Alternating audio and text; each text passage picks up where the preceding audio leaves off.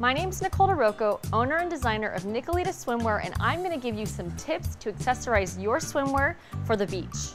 So some of my tips to bring you to the beach in your swimwear from head to toe, a fedora, that's so Cuban style and very Nicolita that you can rock. That's tight and cute and it'll just look fabulous even if you're wearing your cover up. A large brim hat is great because it's floppy, it's really trendy right now. I love this hat.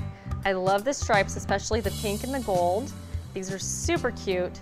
Um, the floppy hat, it just makes it fun and it's sexy, it's classy.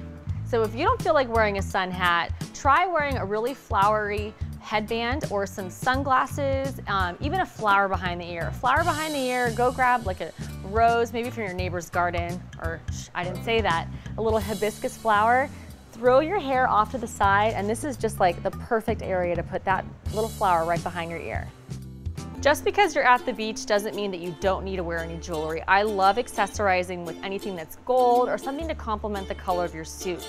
But don't overdo it because you don't want to have things just totally clashing. So either decide on a great earring or perhaps just doing like a bangle on your bracelet. That Those two things could really complement each other really great little pop of color are these bangles. So these are very simple, they're inexpensive. You just slide this on right here, and you can also bring it from this height all the way up a little bit higher.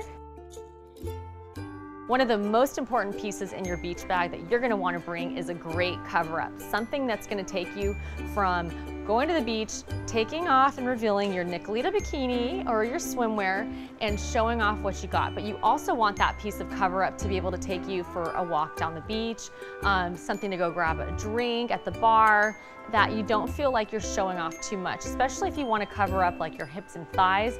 A cover up like a kimono, uh, we have one in our 2015 collection, or even a simple sarong. It's just going to give you that extra coverage that's going to make you feel confident when you have to walk somewhere.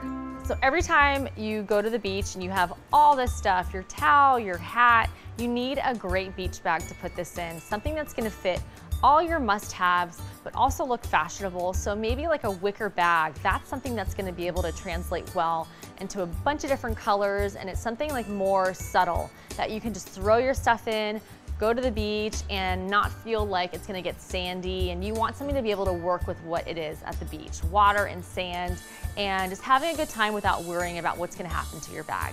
This is a jute bag and I love all of the white trimming because it's not just a simple jute bag, especially the handles up here. This makes it so it's gonna be easy to put it over your shoulder and it's not gonna slip off.